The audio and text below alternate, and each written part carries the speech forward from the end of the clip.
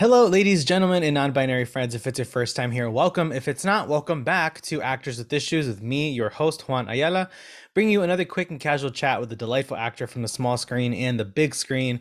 Today's guest is an actor you've seen in dozens of film, over 150 episodes of television. Yes, we did the math. You've seen him in On My Block, Sons of Anarchy, and currently starring in Mayans MC on FX. It's Emilio Rivera. Emilio, thank you so much for being here. How are you? Thank you for having me, brother. Absolutely. So uh, before we dive in, we always start with a, uh, quick rapid fire game. Just uh, throw some quick questions at you and uh, hope for the best. So uh, starting with uh, coffee or tea? Coffee. film or television? Film. Drama or comedy? Drama. Hero or villain? Villain. what actors had the biggest influence on you? There's a few. Did I name them out? I, I like uh, uh, Eddie Olmos, um, Christopher Walken, and uh, John Malkovich. Uh, what was your first non-acting job? My first non-acting job, uh, I was a paper boy. I stole the paper. Hmm. Like eight years old, throwing the paper. I used to uh, make thirty dollars, thirty dollars, thirty dollars a month. Thirty dollars a month. And then I used to have to pay fifteen dollars for rent to my dad. Teaching yeah, you early. He did. He did. Uh, what's a movie that never fails to make you laugh? Never fails to make me laugh. Wow. Uh, uh, you know what? Uh, the Jerk. and uh, one that a movie that never fails to make you cry. Oh man, I'll have to say Angels with Dirty Faces. You know, that's my favorite. Well, that's just my favorite movie of all time. You know, mm. and my my dog Skip. And uh, if you could guest star in any TV show, which would you choose? Mayans MC. Yeah, that's the one. That's the one. I really dig the show a lot. No, no, and another, and it would be it would be uh, Ozark. Oh, good choice. I I love Great Ozark. Man. Yes. And uh, in three words, describe your most memorable audition. And memorable can be good or bad, so that I leave up to you. In three words. Yeah. I really sucked. yeah. Oh, man, if I had a nickel for. no, because you know what it was. It was for a great role, and that show lasted like six years. And and the guy that used to hire me all the time, I um he expected a lot from me, so I went straight to producers, and I was mm-hmm. going through a lot of issues at the time, so. I went in there and not knew one word. It was a four-page scene, and I knew not yeah. one word. He and he never, you know, and I worked so much for him. He hired me so many times, and after that, audition, I never got hired from him again. I never, I never got called to see him again. You know, so wow. yeah, yeah. And you know, so so yeah, of course. So you know, as we all know, no two artists' journeys are alike. Uh, so when did you first become involved in in the arts, and and when did you decide you wanted to start pursuing it on a on a like a long term career level? You know, man, uh, I got clean and sober. Uh, this month, May 15, will be 32 years clean and sober. Wow! And uh, congratulations. So thank you, thank you, brother. And then uh, one of my my um, it was a um, I guess like a rehab guy who uh, asked me what was I was really, I had six months clean and sober already, and he told me what was the most proudest moment that you can think of ever, ever. Mm. And uh, I remember when I was a kid, I stuttered a lot. I was a big stutterer, and um, I got teased about it. So I remember I did a play when I was eight years old called Rumpelstiltskin, mm-hmm. and I played Rumpelstiltskin, you know. And, and um, I remember when I did the play, I didn't stutter not one time, because I already knew what I was going to say, right? And then um, and I, I remember the applause they were applauding for me, and, and, it felt so good, you know. And I not stuttered. And of course, when they, when it was done, I, I was a stutterer. And I told him that story. He goes, "Well, then you you need to be an actor. That's what made you feel good. That's the first thing that could pop in your head that makes you feel good. Then you should try acting." And uh, and I did and I did it for I, I did theater. I did every, anything I, I, could be on any stage. I could do it. I was there. Even if it was two people in the, in the audience, I was there, and that was my new high. So mm-hmm. I was just looking for stages to be on. You know, did stand-up comedy for ten years, but it kicked off real quick for me. So after about four years, I was able to quit the day job, which was a night job, and um, in '95 I did the movie Con Air, and I made a chunk of money, bought a few homes, and then I never looked back, brother. So I've been doing this for living since 1995 it just worked out, man. Because, but you know, as much as I spent trying to get money for drugs, I spent that time on learning the craft. It mm-hmm. was my new my new high, you know. So anytime I went to a new improv place or a new theater group, it was just like I, I, I ate it all up. I just ate it up, man, because that was my I was a dope fiend, you know. I was a dope fiend. This was my new dope, you know. Was the acting. Yeah. And you know, um, as someone who just loves and has always loved movies and TV, I've seen you in so many things, especially like looking at your like you know your IMDb page. I'm like i I remember that, I remember that, I remember that, and and you know in the last five years between or last really like ten plus years with between Sons of Anarchy, On My Block, Mayans, like just some of my like my favorite shows. It's been so awesome to like see that representation as an actor, as a Latino, just seeing that these stories are being told. We've got people like in the industry. It's just been so awesome to see that we have Latinos in the industry beyond just like novelas because you know we all yes. grew up watching those on TV. Right, so seeing right, that right. in Hollywood and American TV has just been so awesome. And so um Thank yeah, you, just you know, congrats Thanks, so much on, on, your you. career and, and seeing Mayans, especially this whole cast. You get Danny Pino, JD Pardo, JD Pardo, my fellow Salvadorian. You know, like even thinking like there's Salvadorians in Hollywood, like leading shows. Like it's just like so awesome to see. Thank you, and thank you for that for being so positive about that, and, and you saying that you know, uh, uh, you know, Sons of Anarchy and the Mayans MC being one of your favorite shows, and you know, me being Chicano Latino in it, um, that you don't that you take it as the work as that, you know, what I'm saying, it, you know, it's the characters are not positive characters, but you're seeing the work, you're seeing past that. You dig what I'm saying? And you yeah. know as well as I do, a lot of the people will be knocking us down, saying you shouldn't play those roles, you shouldn't play those. No, you, you don't be typecast be lucky you're a type. You dig what I'm saying? Right. Because then that's going to get you in the door. Now right. you might be playing these roles here and there, but then all of a sudden they'll see you enough and they'll say, "Oh shit, that guy can actually act." You know what right. I'm saying? And they start writing these parts that are deeper for you. You dig what I'm saying? Same character, but a deeper role. You know, mm-hmm. so just just be happy you're a type, man. You know, and that's why I tell that's why I tell my young Latino actors, man. You know, what I mean, what about this? What about that? I go, just be the best that, uh-huh. and then they'll, they'll, they'll, they'll I've been paying Marcus Alvarez um, since 2008, right? Marcus Alvarez a co-blooded killer. You see me, I do some bad things, but as time went on, now you know I have a family. It's just because we we're not just bad guys. You know, we some of the bad guys don't even know they're bad guys. They're just living their life the best way they know how. You dig what I'm saying? Right. So yeah, give the guys a break, man. But I love the way the way you presented it yourself right now. That's beautiful. As an actor, I'll read some scripts or I'll see some, if I'm fortunate enough to get auditions or whatnot. You know, I'll see that uh, the characters it'll say like you know uh drug lord immigrant and i'm like there's so much more than immigrant stories but i have to remember like my my parents are immigrants right, they right, came right. from el salvador and they had their whole journey so if someone is putting millions of dollars into telling an immigrant story i should consider myself fortunate just to get an audition for that you know yes, and sure. just i'm trying it's so hard to stay positive in an industry that's full of so much rejection and so many moving parts but you know, as an actor, you just gotta like, like you said, like stay positive, see it from that angle. Yes. Because uh, if we start to get picky, you see it as a performer. You're not an immigrant. Your parents were, but you could play that part. You dig what I'm saying? So play the shit out of it, bro.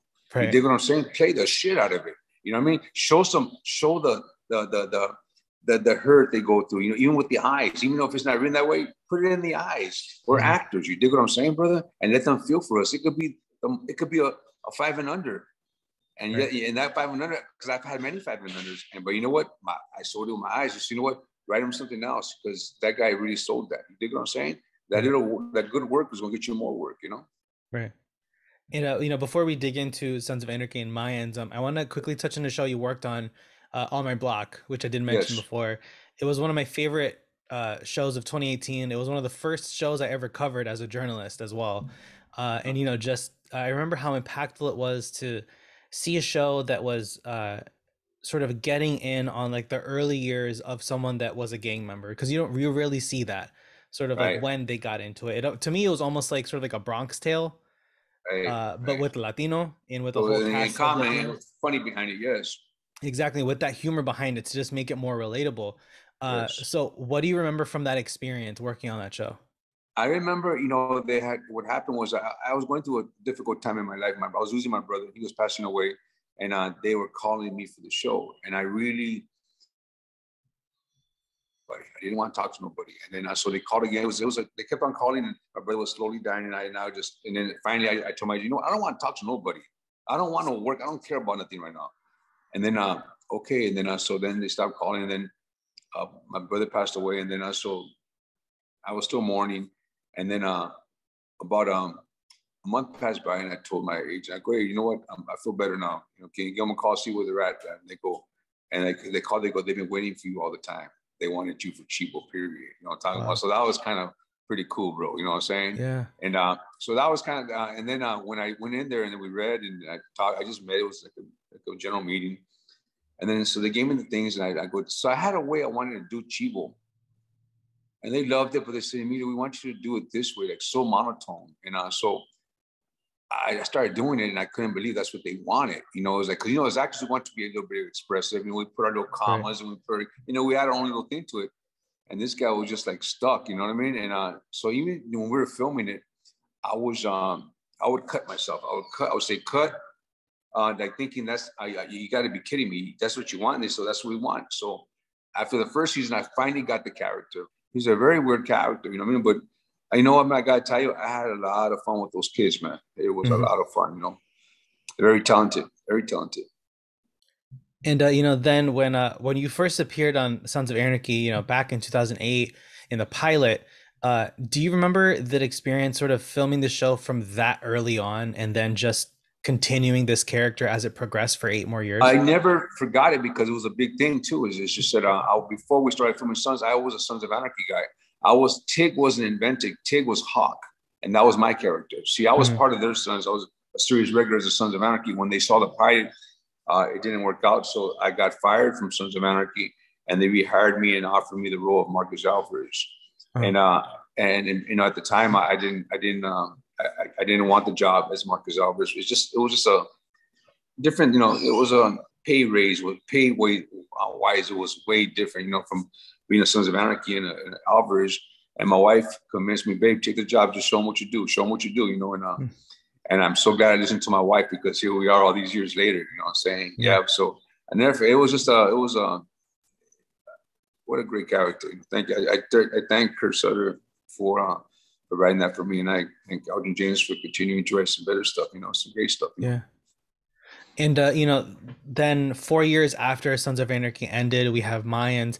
At what point did you sort of get wind that they were starting to develop a spin-off to focus well, they had Mayans? talked about it, but there's always talk. You know, in Hollywood, there's always something going on. And, uh, mm-hmm. and then one day, uh, Kurt gave me a text me. He goes, "Hey, you got time to talk?" I go, "Yeah." He goes, "Call me up." He goes, "Hey, just, just go have some lunch, right?" You know, I thought maybe it was. Uh, I knew it had to be something about you know, but then friends. You know, he's always been friends with me, but so we sat down and we, we started catching up for about an hour. And then he goes, Hey, man, um, we're going to do it, you know? And uh, I go, and I kind of knew what we're going to, he was saying, I go, what are you, what are going to do? What? He goes, we're doing the Mayans MC, man, you know? And I go, he goes, when did we start? He goes, soon. Six months later, here we are doing Mayans MC, man. It was, it was mm-hmm. beautiful.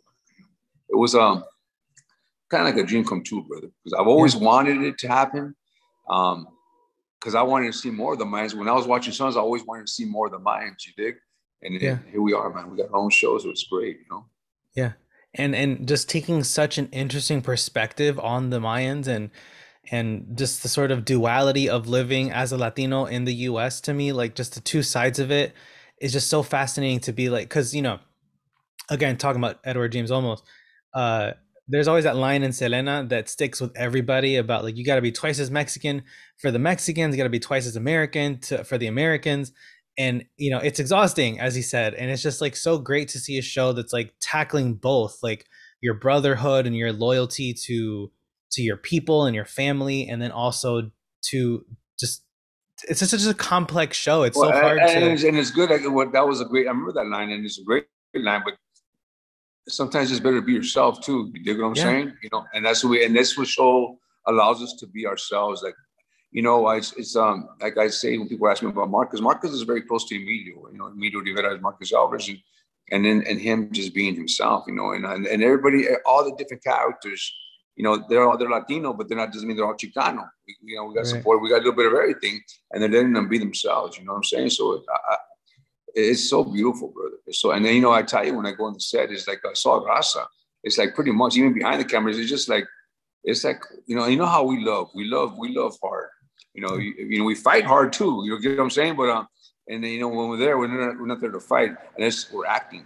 But after when they say cut, brother, it's just a lot of love, brother. It's really beautiful to watch. Yeah. And uh, just sort of, you know, our show is called Actors with Issues, so we do touch on some topics. All that... actors have issues, bro. Oh, that's why I started the show. that's, a, that's, that's a great that's a great title for your for your, for your place. You know, it's great. Yeah, you know, I, I started the the show uh, right at the start of the pandemic because I finally had time to sit right, and right, talk right, with actors. So uh, we recently hit hundred episodes, so we're we're we're two years deep into Congratulations, it. bro! Congratulations. Thank you. Thank you. And and you know, in those conversations, so many things have been touched upon when it comes to the issues, whether it's mental health or dealing with stereotypes or just breaking into the industry and getting to talk with so many actors at different levels. So for you, you know, what comes to mind is something that that you know now about being an actor and about the industry that you wish you had learned earlier? Let it go. You know, mm. you go to the audition, let it go. Uh, don't dwell on it too much. It's a waste of time. You know, I'm talking about it. You can't change it. Um, stop saying your lines after you did the audition. You, probably could. We could also have said it better, but you didn't, and uh, or you did, and just let it go, man. And, you know, and don't worry about it. You know, another thing too, bro. And this is the thing. And I and I and I taught this early on is um, don't be a hater. You see your guys. You know, there's enough for all. There really is. I've said this in the beginning the pie is real big. There's enough for all of us. It, if it's not, you're not part of the pie if you don't do the work. You dig what I'm saying? Do the work. Really mm-hmm. do mm. the work. Uh, and it's a lot of work because if you're not the guy next to you against you, is doing that work. You dig what I'm saying? And don't feel bad. Sometimes you can do all the work you want. Sometimes you just didn't look the right. You didn't look right. You dig what I'm saying? So there's so many different factors of you not getting the job or getting the job. So let it go. Yeah. Just let it go. You know what I'm saying? I spent too much time on saying, but man, I did so good. I did so good and early on. And um, and then sometimes I would see the person that got the job and I'd say, man, that sucked. You know what I mean? But it was he was better looking. You know, they wanted a cute guy there, whatever, whatever. you know, there was, you know, there's uh different, so many different factors. But just just give it, give it your best shot. Go in there prepared. Go in, go in there on time. Know your lines. Go prepared, and then let it go. You dig? Yeah. I wish I would have let it go a lot sooner, you know? Yeah. And another thing I, have just learned just recently, another thing too, and uh, you know, act. My thing was, uh, and I, am a method actor, but see, what's what happened? Like if I had a bad day, like with Charlie or, or uh, Ron Perlman, if me and him were supposed to be pissed off, I'd come in pissed off. I'd be pissed off the night before and go to work, and I wouldn't. I would look at Charlie, I'd give him a nod, I wouldn't say I would be an asshole. And then we do our scene when they say cut. Then I, I did all my work, and then I go home but then I go home and I'm still pissed off. Now, what I do now, which I've already been doing this for the past six years now, is that I'll get pissed off when I get to set. I'll get pissed off five minutes before they say action. You know, I mean, that's why I'm an actor. You dig what I'm saying? So let me have right. fun with everybody, and uh, as long as I know my lines, and then prepare five minutes to instead of being pissed off the whole night before, the whole day after, taking down on. That's another thing I just and I just recently learned that, bro. So and I'm already 61 years old, so I wish I would learned that a lot longer. Because I was always, I was so sad. If I had to do a, a, sad scene, I'd be sad from the night before. You know, thinking about too many bad things, and no, just act. Hmm. You know. Yeah. And be, so just be. I mean, at the time when they say action, now started acting. You know what I'm saying? You know. Right. Yeah. And uh, I'm curious. So looking ahead, um, you know, what's on the bucket list for you that you haven't done yet? Are there any like dream genres you haven't done? Any co-stars you want to work with? I, I want to, you know, I want to do a, I want to do a, a, a, role where I could play like a mentally challenged person. Huh. I think with that, I could do it because then I could just let out everything I ever wanted to live out that I can't leave out in real life. You dig what I'm saying? Yeah. And I being in a safe, in a safe place to do it in, and uh, and just like, just let me, let me run amok, man. I think I could really do something crazy. I mean, not crazy, but I mean, I think I could do some beautiful work with that. You know what I'm saying? Mm. So one day, you see, I got, I got, I got, I got a film uh, my wife wrote uh, about my brother when he was passing away here. In my, you know, this whole it was a two week. It, it all took place in two weeks, but um, it was something that was very things you learn. You wish you would learn a lot sooner. But then it's too late. You know what I'm saying? And some people say it's never too late. No, when you're dying, it's too late. Sometimes. So yeah, it's, it's very, very, very, beautiful part. Everything I think about it, and that's when I want to get to a sad moment when I'm doing Mayans. I just think about my brother. He did, you know. Mm. So yeah, I want to do. That's what I want to do. I want to do that.